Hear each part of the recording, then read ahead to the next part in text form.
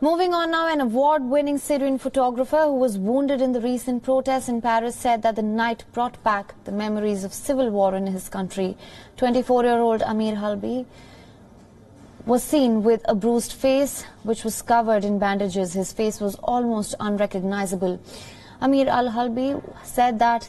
Police assaulted him and his colleagues despite knowing that they were journalists. He said, and I'm quoting here, I found myself wounded, bleeding heavily in my face and stuck for two hours in the demonstration, wedged between demonstrators and the police who did not want to let us get out and go to a hospital. Images of Syria surged back into my head. I was aged 15 when I found myself blocked in a demonstration, wounded by two bullets in my hand.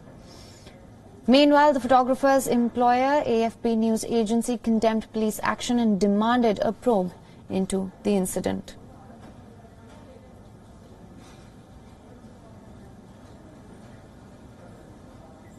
Let's shift our focus to Thailand Our Anti-government protests continue to take place across Thailand. In the latest act of defiance, thousands of protesters marched to an army barrack to challenge the Thai king's personal control over some army units. The demonstrators continue to break taboos, uh, taboos by criticizing the king in the country where insulting the monarchy is a crime.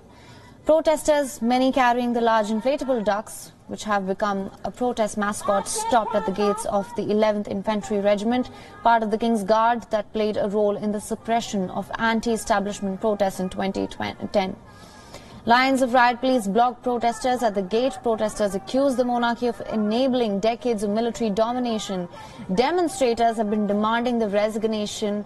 of Thailand's pro-monarchy Prime Minister Prayut Chan-o-cha.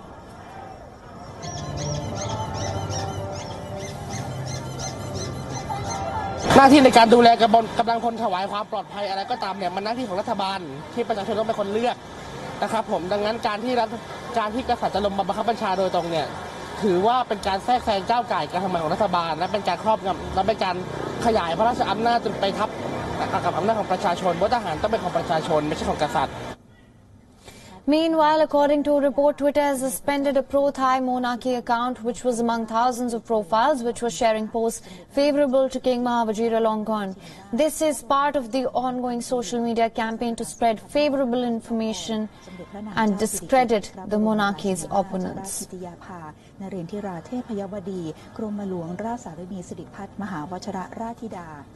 สมเด็จพระเจ้าลูกเธอเจ้าฟ้า